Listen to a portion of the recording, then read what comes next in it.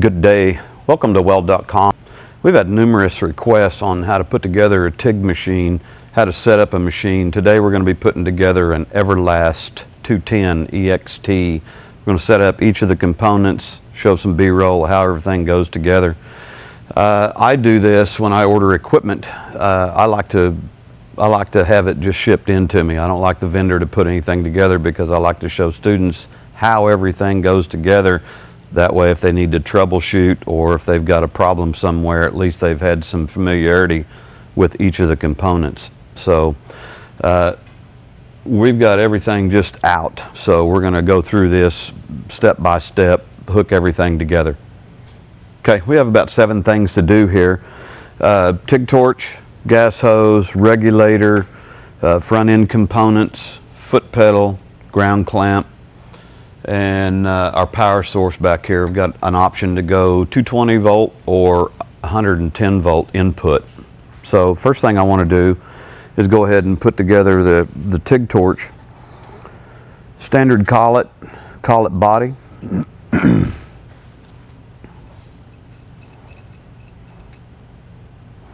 have a number seven ceramic cup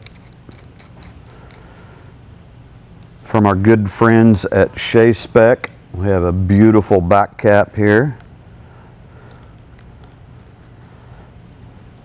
Lightweight, that is so cool.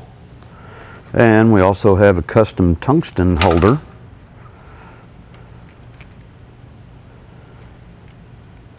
E3 tungsten. We're all color coordinated here. This is so cool.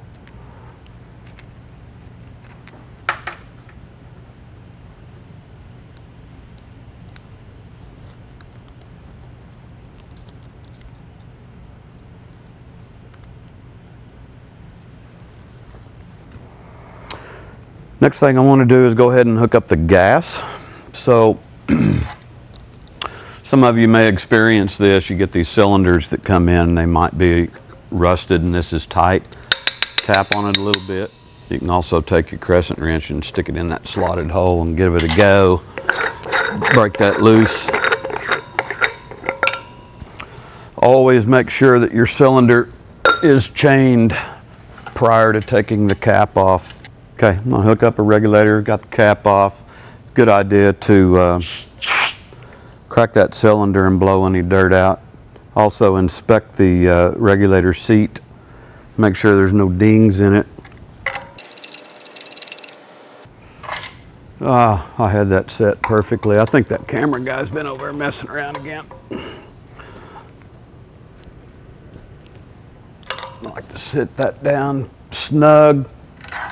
Again, I like to inspect threads when I'm putting stuff together for the first time. Make sure there's no dings in them.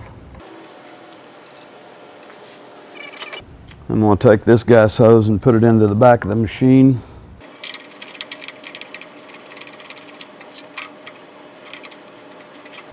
Okay, next comes the ground clamp. Just my personal preference, I like to hook up the ground, then the foot pedal, than the TIG torch because I don't want any of these cables laying on top of the TIG torch cable while I'm doing work.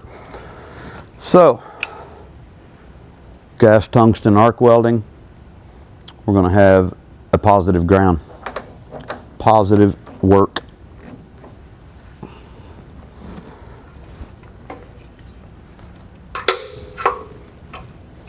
Next is the foot pedal.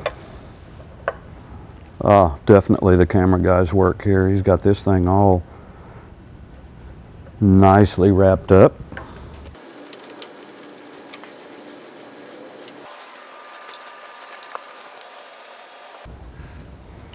TIG torch into the negative terminal.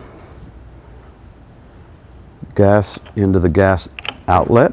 That is such a cool little quick disconnect. Makes it so much easier setting up your rig. Next, we will power the machine. We're going to go with 220 volt input. This machine does have an option to uh, adapt to 110 volt input as well. We're ready to turn the machine on first time, so we'll power it up. I'm going to go ahead and turn the gas on. uh, please stand to the side, don't get in front of a regulator. Always turn these on slow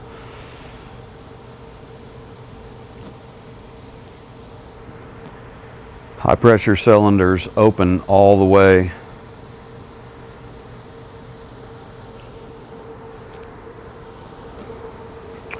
Next thing we'll do is set our process. High frequency TIG. We have 80 amps. DC, we're on the foot pedal.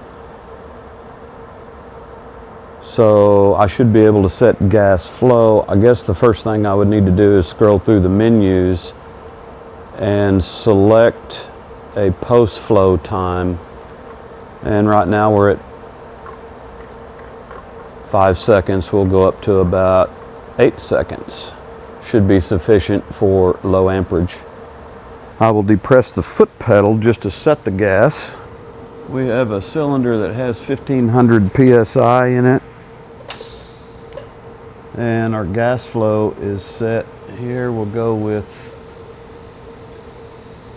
about 15 cubic feet per hour. So we should be ready to weld. Okay, we're ready to test this and see what we got.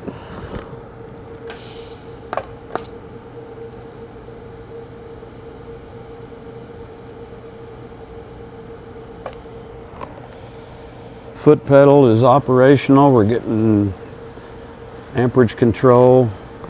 I'm gonna go up here on the edge and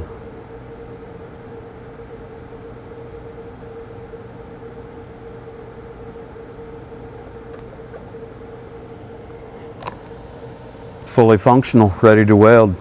I hope this helps. uh, we're going to be doing this with about every process. So if you have questions, if you get stumped on something, putting together any kind of machine, if we can help you out, please post it in the comments. Uh, check us out on Instagram and Facebook as well. Thanks for watching weld.com.